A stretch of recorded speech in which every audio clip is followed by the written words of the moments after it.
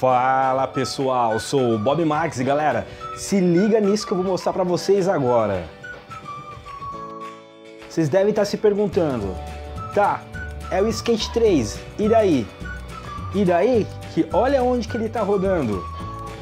Ele tá rodando no Xbox One, ou seja, ele acabou de entrar na retrocompatibilidade.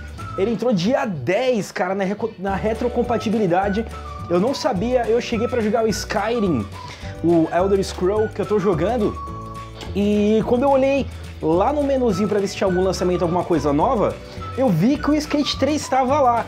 Aí como eu tenho o game, eu peguei, já coloquei e realmente ele estava funcionando.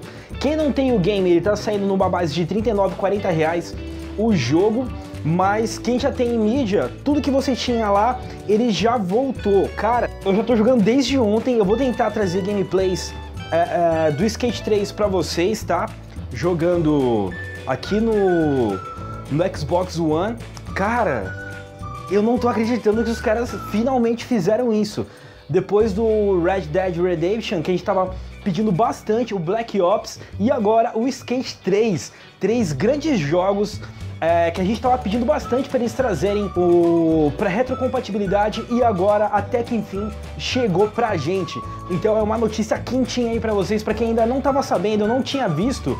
Então o Skate 3 tá saiu na retrocompatibilidade do Xbox One.